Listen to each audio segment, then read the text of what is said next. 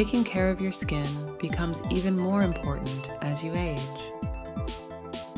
For mature women, a few simple habits can make a big difference.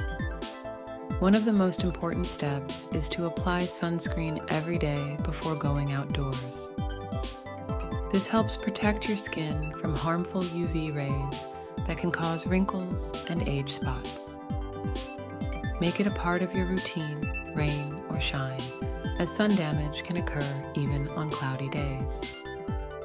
It's also important to avoid smoking, as it makes your skin age faster and leads to deeper wrinkles. Choose skincare products that suit your skin's needs. Whether your skin is dry, oily, or sensitive, using the right products helps keep it healthy and glowing. Finally, remember to wash your face regularly in the morning, before bed, and after sweating.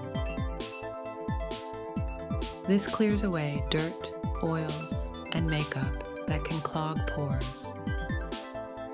With these easy steps, you can help your skin stay fresh and radiant as you get older.